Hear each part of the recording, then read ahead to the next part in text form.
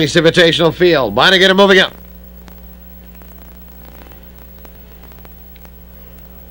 Here they come.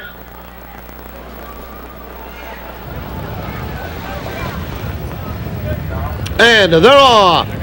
And it's Dr. Lecter Lobell for the lead from between horses Riyadh, the inside, the Wrath of Pan.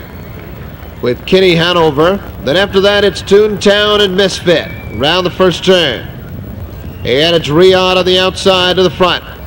And Moiseyev puts Riyadh on the lead over Dr. Lecter Lobell. Then it's another two to the Wrath of Pan.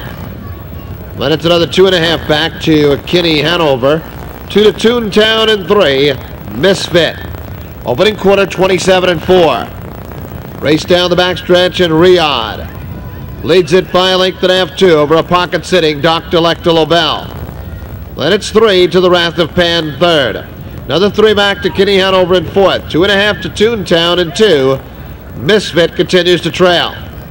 They're by the half, and it's Riyadh enjoying a length and a half lead. Dr. Lecter Lobell and O'Donnell still sitting second.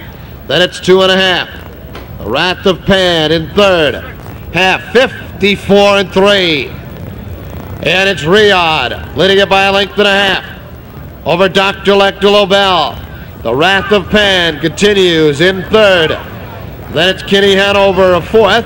To the outside, Toontown and Misfit continues in sixth. They're by three quarters.